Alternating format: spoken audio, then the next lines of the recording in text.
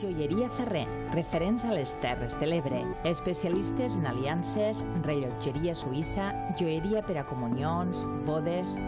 Ens trobaràs al carrer Sant Blai de Tortosa i just davant Ferrer Plata i també a www.joieriaferrer.com.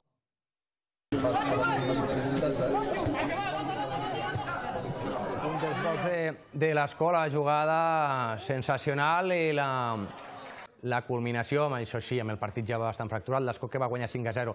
Hem parlat del gol de, de Blasi, victòria del Gandesa, liderat, mm, victòria sofrida, però uh, s'ha pogut aconseguir i aquest gran gol, el passe de, de Gumiel, l'entrada de segona línia, trencant el fora de joc de Blasi, gran control i gran definició.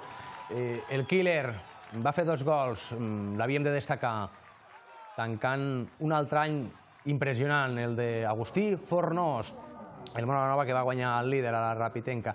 Atenció, en parlarem després. Olímpic Aldeana, un dels partits de la jornada de tercera catalana. Sergi Vila, un geni.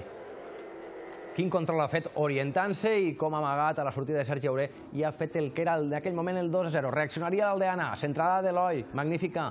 I Robert, 13 gols, com la pilota li ha quedat enrere, com s'acomoda o s'habilita per a poder, per a poder aprofitar la centrada i aconseguir el 2 a 1, resultat que ha estat definitiu. Ahir el batea, el líder que va guanyar Flix, atenció al que fa Torres, eh, jugador que no ha pogut tenir continuïtat en les últimes setmanes, va ser titular ahir, gran control en un contraatac i definició exquisida. Rebutja l'Arnerol al Mestoi, Àlex, i d'aquest rebuig se produeix una passada a l'esquena dels centrals locals, Marc surt, però no el suficientment contundent, i Ferri, 21 gols, el Pichichi, que aprofita, aprofita la situació per marcar. No era fàcil, perquè han vist la, la paràbola de la, de la que ha de fer la, la pilota per entrar.